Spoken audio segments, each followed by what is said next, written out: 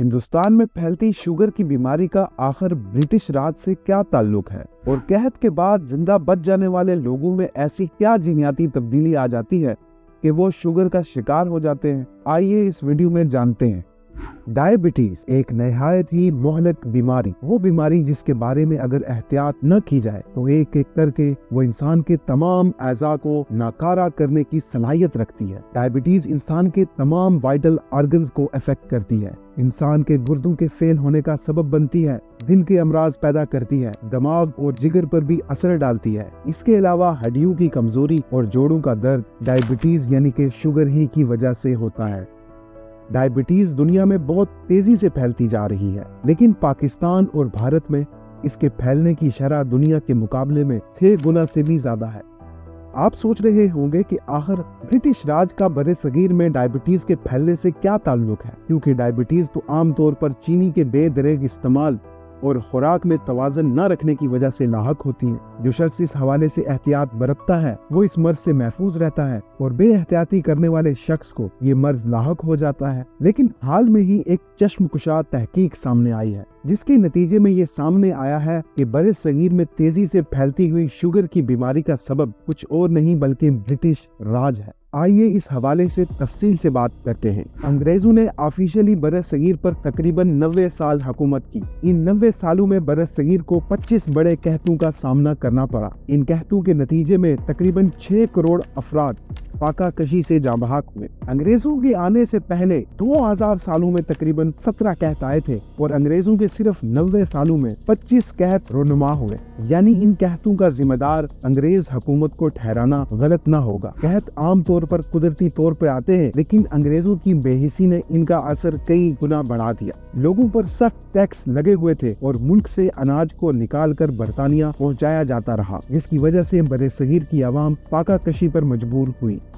1943 में बंगाल में आने वाले कहत से 30 लाख बंगाली मारे गए। इस कहत के आने की सिर्फ़ और सिर्फ़ वजह अंग्रेज़ हुकूमत की पॉलिसियाँ थी। उस वक्त बरतानिया के वजी आज़म विस्टन चर्चल थे। चर्चल की हुकूमत ने बड़े सगीर के वसाइल को जंग अजीम दोयम के लिए झोंक दिया। इधर लोग भूख से मर रहे थे और उधर बरतानिया ने तकरीबन 45 ट्रिलियन डॉलर बड़े सगीर से लूट कर अपने मुल्क में भिजवा दिया। हिंदुस्तान के वॉइस राय ने बरतानिया के वजी को मदद के लिए खत लिखा। बरतानिया की वज़ीर आज़म चर्चल ने मदद देने से साफ़ इनकार कर दिया। न सिर्फ़ उन्होंने मदद देने से इनकार कर दिया, बल्कि बरतानिया के लिए चावल की एक्सपोर्ट को और बढ़ा दिया। इसके अलावा उन्होंने हिंदुस्तानियों के लिए एक नहायत ही तजहीक आमेज बयान दिया। उनके बयान का मफहूम कुछ यूँ था, मुझे हिंदुस्तानियों से नफरत है। दरिंदगी के मज़हब के दरिंदा लोग, कहत इनकी अपनी गलती है, जो खरगोशों की तरह अपनी आबादी बढ़ा रहे हैं। चर्चल का कहना था कि कहत कुदरत का ओवर पॉपुलेशन से निपटने का एक कुदरती तरीका है। आप सोच रहे होंगे कि बड़े सगीर में पेश आने वाले इन कहतों का आज के दौर में हिंदुस्तान में बढ़ती हुई डायबिटीज़ के साथ क्या ताल्लुक है? और ये कि बड़े सगीर में आने वाले तकरीबन तमाम कहतों को अब तकरीबन 100 साल से जायद का अरसा गुजर चुका है तो इस लिहाज से ब्रिटिश राज का हिंदुस्तान की डायबिटीज़ के साथ क्या ताल्लुक है? दरअसल बड़े सगीर में बार बार कहत पड़ जाने की वजह से हमारे आबाओ अजदाद ने कुदरती तौर पर कह का मुकाबला करना सीख लिया था। बार बार आने वाले कहतों की वजह से इंडियन लोगों की जीन्स के अंदर एक तब्दीली आ गई थी और भारतीय लोगों का जीन्स स्टारवेशन अडोप्टेड हो गया था। यानी कि उनके जीन्स के अंदर कुदरती तौर पर भूख मरी से मुकाबला करने की सलाहियत आ चुकी थी।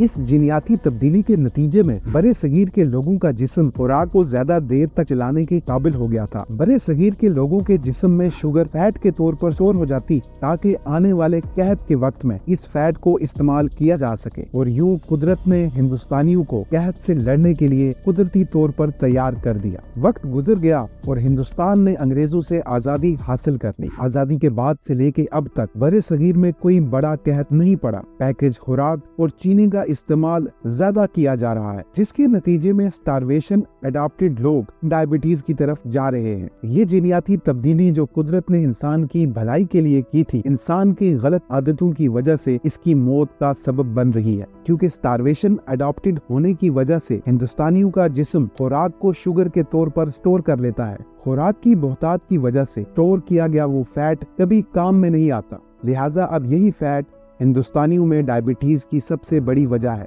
अगर ब्रिटिश राज के नब्बे सालों में हिंदुस्तान में 25 कहत न पड़ते तो शायद हिंदुस्तान के अंदर डायबिटीज़ इस तेज़ी के साथ न फैलती। डायबिटीज़ को रिवर्स करने का अब तक कोई तरीका दरियाफ्त नहीं हुआ। हाँ अलबत्ता अपने लाइफस्टाइल को थोड़ा सा तब्दील करके हम इस मौजी मर्ज को अपने से दूर ज़रूर रख सकते हैं। रोज़ाना की एक्सरसाइज और सेहतमंद गजा का इस्तेमाल शुगर जैसी मोजी मर्ज को अपने से दूर रखने का वाहिद तरीका है।